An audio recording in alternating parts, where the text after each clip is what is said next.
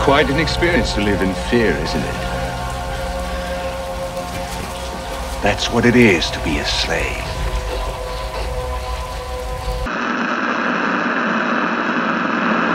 Can't, can't have me.